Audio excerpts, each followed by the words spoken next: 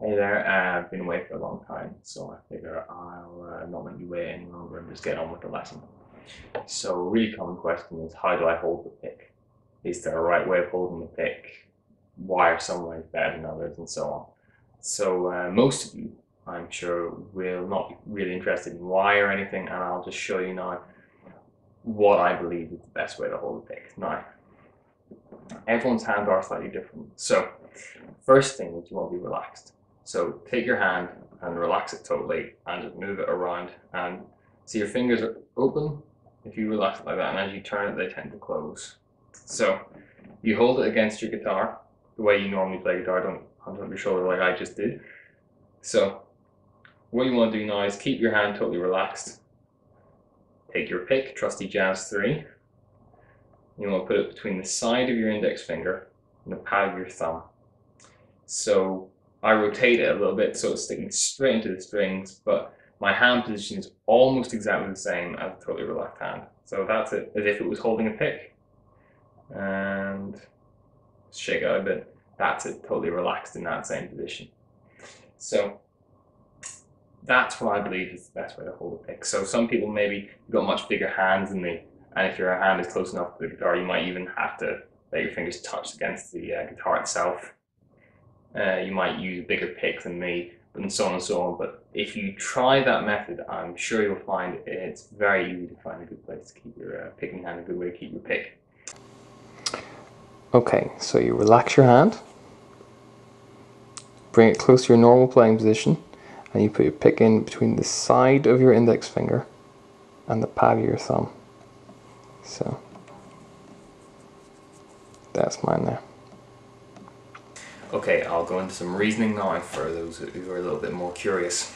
So, um, there's no question that a lot of guitarists have been very successful with very weird ways of holding the pick. Uh, Michael Angelo Batio, you know, with his, and Shawn Lane with his backwards thumb technique, and you know Marty Friedman with his broken chicken leg super reverse attack, and that's all cool and some of them get away with it because they practiced very hard, and some of it, some of them get away with it as such because they're just extremely flexible.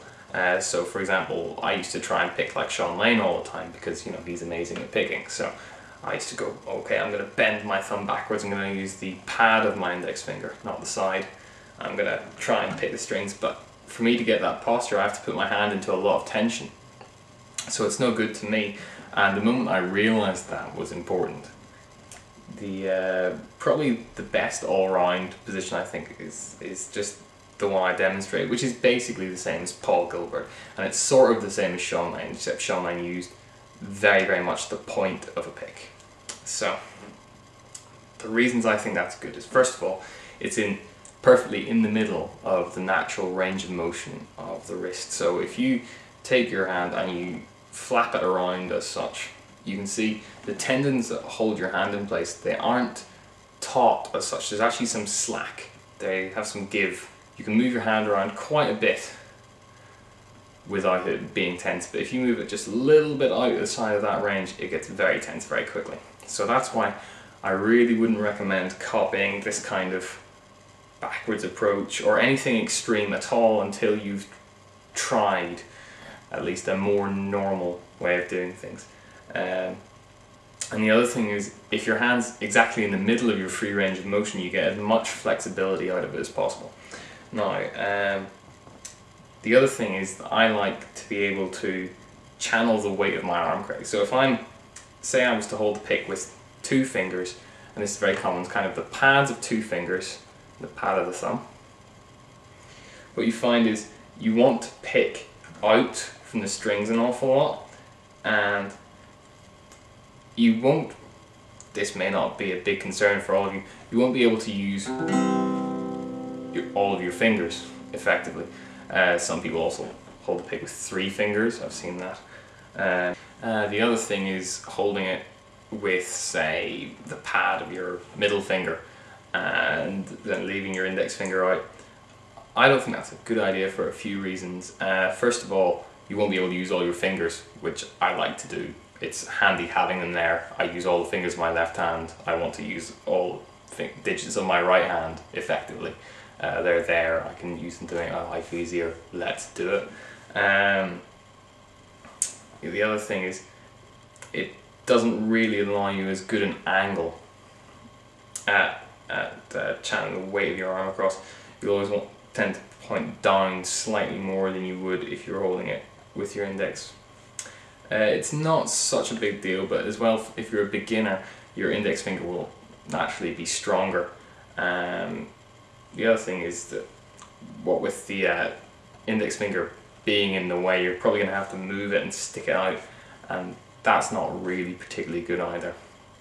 The other nice thing, of course, about holding it in a normal way is that uh, you can take advantage of normal things like muting.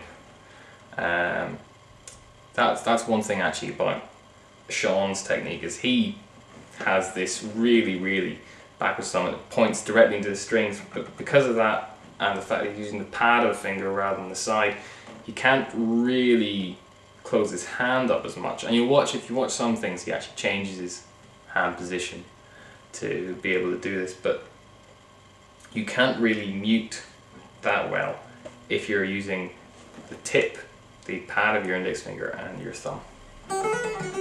Okay, so I think we've got perhaps a little bit too much into depth and that should uh, see us back to uh, hopefully more regular lessons from me.